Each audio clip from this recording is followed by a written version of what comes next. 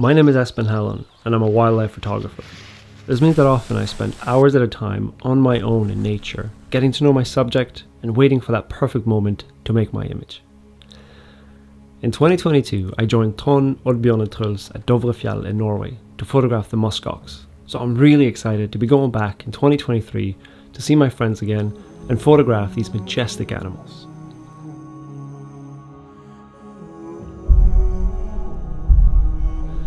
The muskox in Norway live in the mountains of Dovrefjell, and even though they're perfectly adapted to this Arctic environment, facing the elements through the darkest and coldest months of the year is never easy.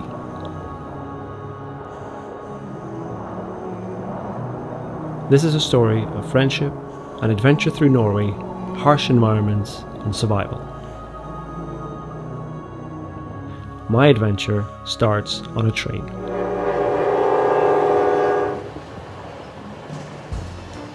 I'm on the Bergensbanen, which goes between Bergen and Oslo, where it stops at the highest railroad stations in Norway. Travelling by train is by far my favourite way of getting around. The cafe has just what I need for a trip like this cinnamon buns, coffee, and hot dogs. I sit down and enjoy the views, which are hard to beat on the Bergensbanen in winter.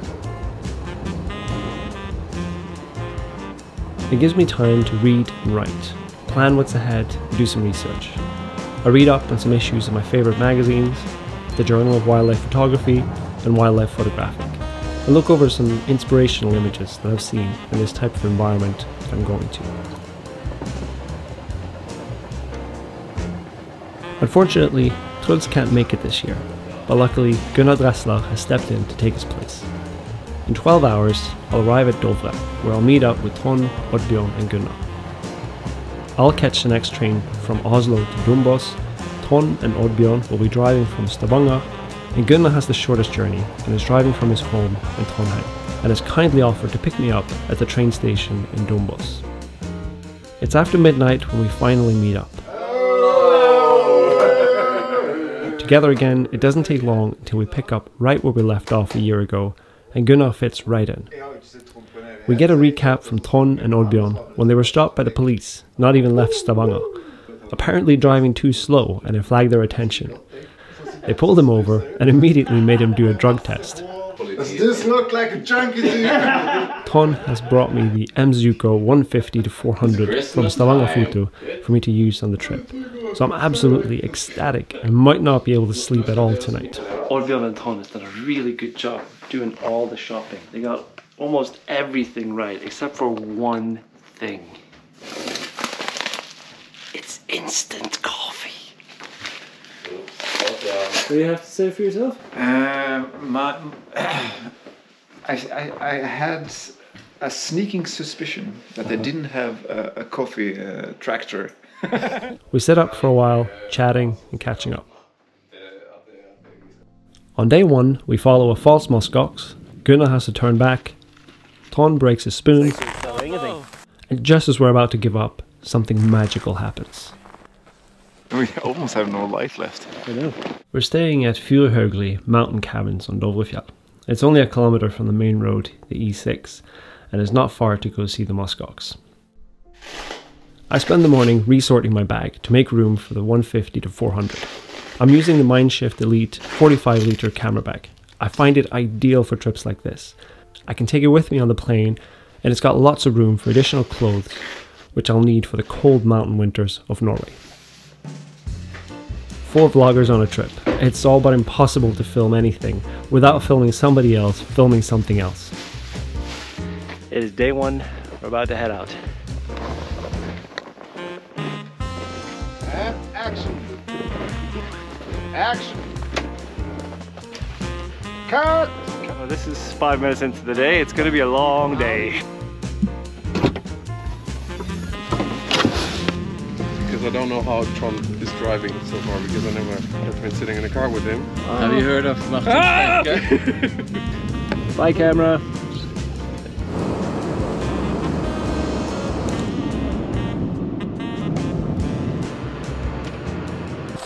Stopped at the parking lot over here, did a scan, and Trond spotted a muskox within like three seconds. I think he's getting a little bit of experience of this.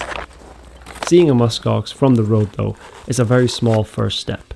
We have to drive on quite far to an area called Grunbakken before we can park and cross into the national park.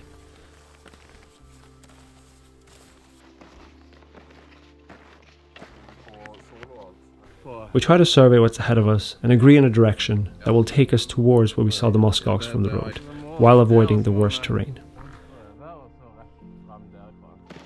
We quickly realize that our first day is going to be hard. We have a long walk ahead of us, and there are no trails here since last snowfall. Like geese on migration, we alternate who walks at the front to do the hard work. Even with snowshoes, it's tough going. We've seen one, what we think is one musk ox, probably from a couple of kilometers away when we first saw it. We're heading that direction. It is a long trek, and especially even through binoculars, we can't be 100% sure that it is a musk ox. The closer we get, the more we start to doubt that this might not be an animal. It turns out that the muskox was in fact a big rock. Gunnar faces some issues with his hip and decides to turn back, not wanting to do any serious injuries on his first date. We stop for a late lunch. It's only an hour left before the sun goes down, but we have to eat before we keep going. We always come prepared with a first aid kit. He clearly doesn't ha- know how to eat with spoons. It works.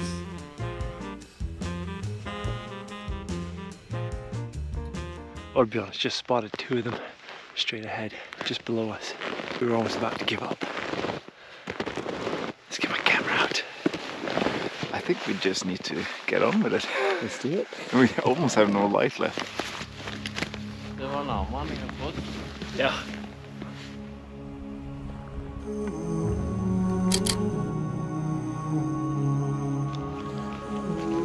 This is incredible. So we are making our way in kind of a half circle around them. We don't want to scare them away. Finally getting to try out the 150, 400. Even though we're almost out of daylight, we can't believe our luck. We were about to go back empty handed.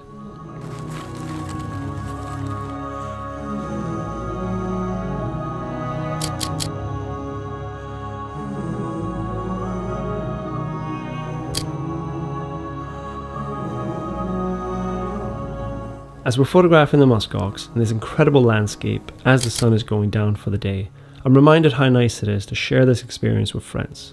We've supported each other in the tough walk through the snow today.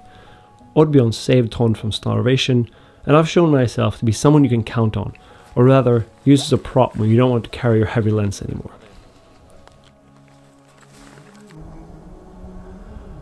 The animals spend most of the time feeding, which means they don't often lift their heads, but we try and make the best out of it. I'm loving using the 150 to 400 with a built-in teleconverter of 1.25 it gives me extra reach and up to a 1000mm in full frame equivalent. I try for a variety of compositions, some with the animal small in the frame, some closer up, while we try to move into a position so that we can get the sky which is popping pink and orange behind the muskox. Such a lucky ending to our first day. It was a shame that Gunnar missed the encounter, but as he keeps annoyingly reminding us, he only lives three hours away. He can come back at any time. Trying to follow our tracks back. It turns out we were following Musk's tracks for a while. I think we're getting a bit tired. What a fantastic day.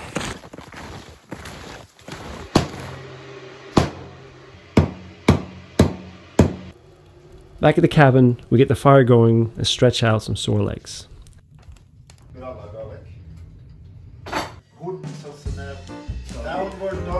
Trond presents the menu. Vi kan sitere menyen på Dovre. Det blir eh, tikka masala à la Oddbjørn. Food always tastes better when you've been outside all day, and we enjoy an excellent curry.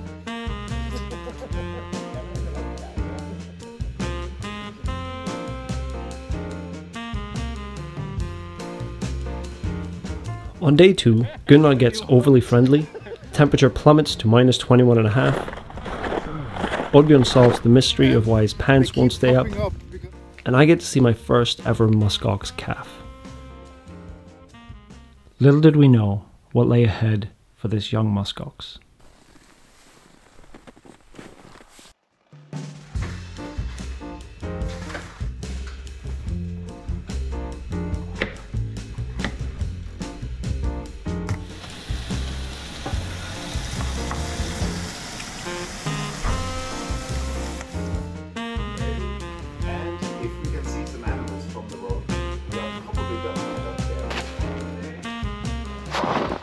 There. Are you sneaking up on me? No? You are lurking. No lurking here. På tysk er jakke jo eh, kaldt fordi det fryser igjen. That's that. Take Hallo! What do you want? This! Is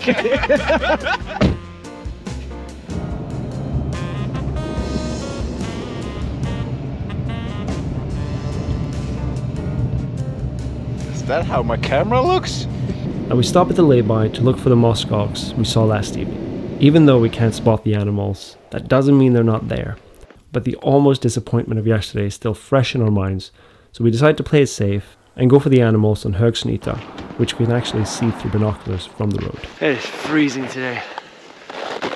Car said minus 21 and a half. So I just want to hurry and walk up to where the sun is hitting the hill and warm up. It's no fun starting the day cold.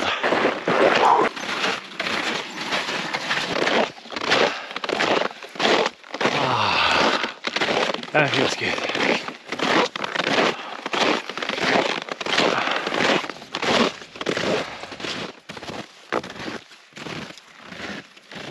Got two muskox up top here.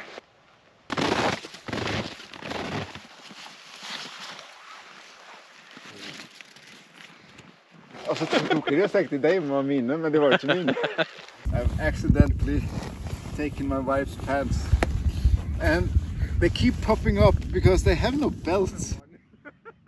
We have lunch close to the top of Høgsnyta and wait for the light to get a bit better. Sto på rekka og la plan. Da så vi de. I don't stop. I just drink from my sock.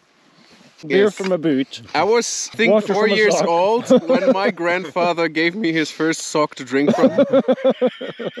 It's the same one. It's, and I still have it until this day. Once I finish lunch, I make sure to get into my warm clothes, as it can quickly get chilly when we sit still. I have thick salopette trousers to put on, and I exchange my Paramo jacket for a down Bergans jacket. I also put some heat packs in the pockets of my Tinden Vallerret gloves. At this point, I had only seen two adults sitting below us as we walked up, but as I peek across the edge, I also get a view of the young calf.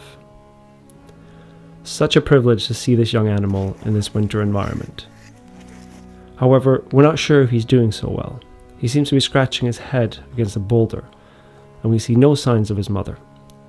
As muskox calves are born between April and June, this young one isn't even a year old. We're told by one of the guides that the calf has been abandoned by his mother for unknown reasons, and he's been hanging around with three adult males for some time. Without his mom, he'll likely not live through the winter. We spend the remaining hours of the day watching the muskox. We get some great light at sunset, but the muskox are done feeding for the day and spend most of the time sleeping. This is a big part of wildlife photography. You can put in a lot of effort, wait patiently for hours, and still not get the image. If it was easy, it wouldn't be as rewarding. It's time to walk back. It's always a long trek back to the car, but I've come to really enjoy the walks. They start when the sky is filled with colourful clouds and the landscape looks dramatic. Mostly we walk in silence, and all I hear is the shuffling of our snowshoes. It's meditative, and I take in all that happened today. Twilight comes and goes, the stars come out. Even without a photo to show for it, we had an extraordinary day on the hill, and it was such an amazing experience to see these muskox and the young calf. Though I'm left with a bit of sadness, knowing that the young muskox likely won't make it through his first year. It's on our third and final day that we get rewarded by some of the best photography of muskox I've ever had. On day three, we decide to go straight back up to Høgsnyta to see the calf and the three adults again on our last day. It's even colder today. The car measured minus 22 degrees Celsius, and the wind chill makes it even colder.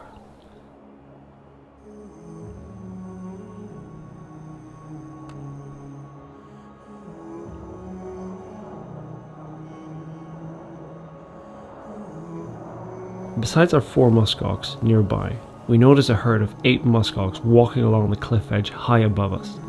I'm absolutely captivated by these animals. Though it's amazing to get close to wild animals for photography, I find that this herd walking along the ridge above us tells more of a story of the lives of the muskox and the habitat they live in.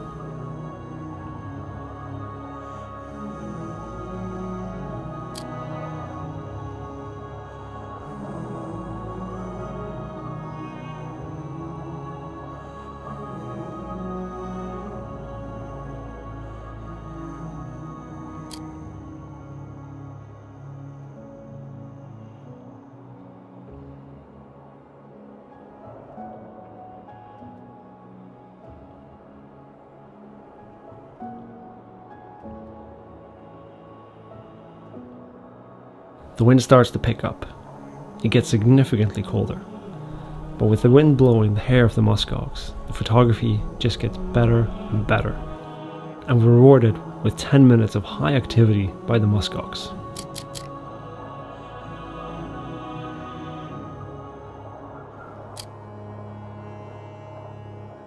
Even though the photography was incredible, I can't help but feel for the young calf.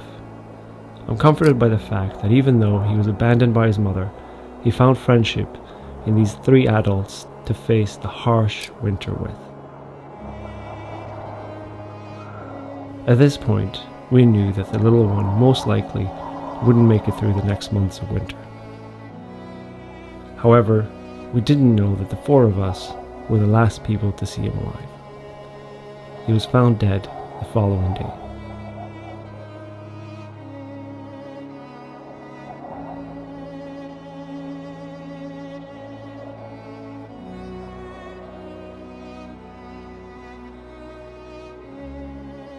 Wildlife photography can be a lonely occupation. I spend a lot of my time on my own in nature. This little calf who faced his first and only winter with companions reminds me to cherish these moments in nature when I get to share the experience with my friends. Thanks for watching.